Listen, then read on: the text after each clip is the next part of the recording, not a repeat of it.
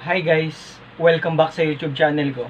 So for today, panibagong learning na naman and magsasagot tayo ng isang random math problem galing from number theory.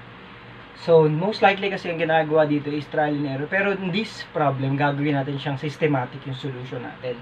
So ito yung problem. Let x be the least positive integer such that 10x is a perfect square. So parang x is a multiplier. And 6x is a perfect cube. How many positive factors does the number x have? Okay? So, itong gagawin natin. So, first, consider natin yung una. So, yung 10x daw mga lodi is a perfect square. So, let's say that is a squared. Bakit a squared? Kasi nga perfect square that can be written in the form a squared, b squared, etc.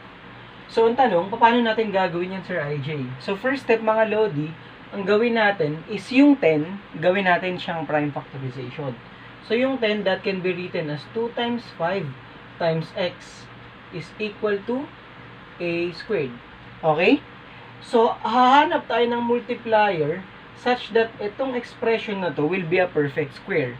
So, di ba? Sinabi ko ka kanina na kapag perfect square, that is yung exponent natin is 2 or mas specific is even number. Kapag kunyari naka-prime factorization na siya. Kunyari 2 times 3 times 5. So, kapag yung exponent ni 2, ni 3, and 5 altogether are all even, automatic that is a perfect square. Ganun po siya mga lods. So, ano na mangyayari? So, kung mapapansin nyo, kulang to ng ilang 2. So, di ba ang exponent ng 2 dito mga lodi is 1? Dito is 1. So, ibig sabihin, kung 1 na yung exponent na yan, kulang pa yan ng isa pang uh, 2. Bakit? Kasi nga, para maging even siya mga lodi. So, that will become x equals to raised to 1, mga idol times. So, multiplier to ha. Yung 5 natin, kulang ng isa, baka na nito, kasi 1 plus 1 will become even. List na yan mga lodi. Pwede namang 3 din. Pero, syempre, doon tayo sa pinakamababa, positive integer. Kasi kunyari, 1 plus 3 is for that is still even. That makes it a perfect square. So, ganito rin. Pero, so pumipiyak mga lodi. Pero, dapat magkakaroon tayo dito ng multiplier. Like, for example, that is t squared. Bakit t squared, Sir IJ? Kasi, perfect square dapat siya. Hindi natin alam yung number na to, pero nag-multiply tayo ng t-squared na sure tayo na perfect square. Okay? So, yan na. Okay na tayo dito sa value ng x natin sa una. Tapos, yung pangalawang condition, 6x is a perfect cube. So, tuwing kailan ba magiging perfect cube ang isang uh, number? Kapag yung prime factorization form niya, lahat ng exponent mo is divisible by 3. Ganun siya. Kunyari, uh, like, like for example 2 to the 6 times 3 to the 9 times 5 raised to uh, 3 this is a perfect cube. Bakit? Kasi dapat lahat ng exponent natin is divisible by 3 or multiple of 3 so ganun siya. So ano na mangyari dyan sir IJ so yung 6x natin mga lodi this can be written as 2 times 3 ano ba tong x natin? That is times 2 times 5 times t squared eh kailangan 'di ba ito must be a perfect cube. So that must be in the form let's say m cube or b cube. So ano na mangyari? Paano natin makukuha tong value ng t? Okay, so makinig maigi mga lodi. Alam ko nakakalito to.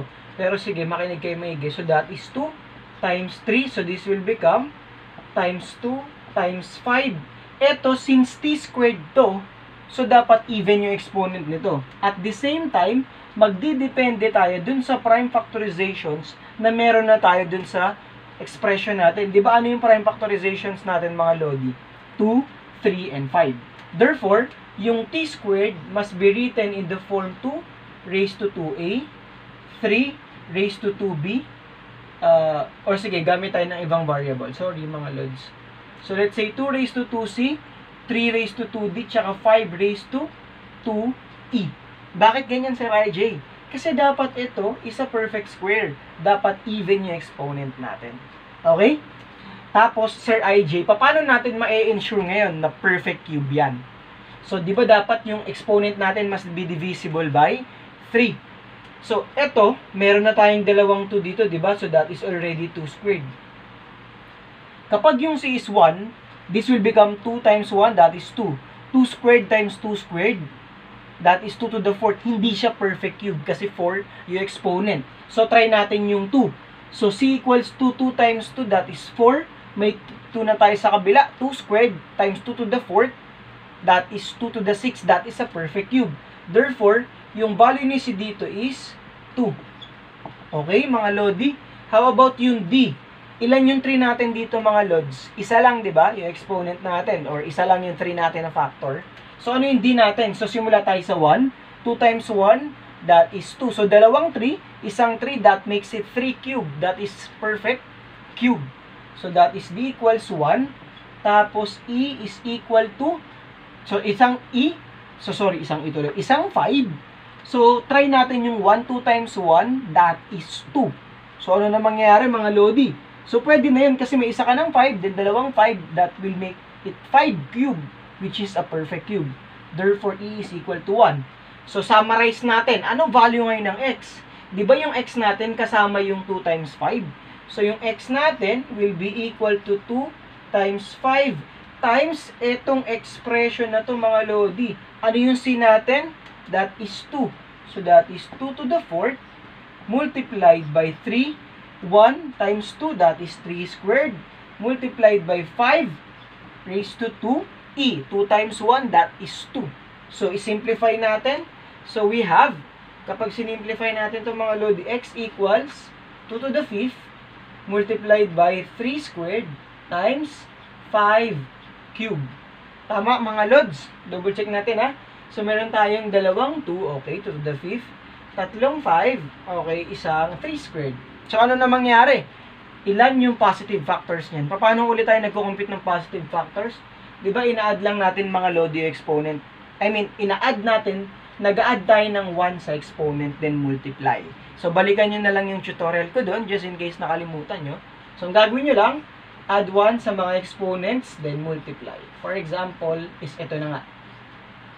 Okay, so nag-add lang ako ng, ex- ng 1 dito sa mga exponent, mga loads, and then multiply natin. Baka nagtataka kayo bakit ako nag-add ng 1. Kasi ang factors ng 2 to the 5th are 2 to the 5th, 2 to the 4th, 2 cube, 2 squared, 2 to the 1, and 2 raised to 0. Kaya 6 siya. So nag-add tayo ng 1 for the factor of 1. That is 2 raised to 0. Similar, similar din yung sa ibang factors natin. Di ba mga loads? So, ano mangyari dito, Sir IG? So, this is 6 times 3 times 4. So, this is equal to 72. Therefore, the answer to this question is 72. So, just in case meron kayong questions or clarifications, since alam ko mahirap talaga tong topic na to, so huwag kayo mahiya magtanong mga Lodi. Salamat sa patuloy na pag-support and sa pag-subscribe sa channel natin and keep safe na lang mga Lods and I hope you all the best.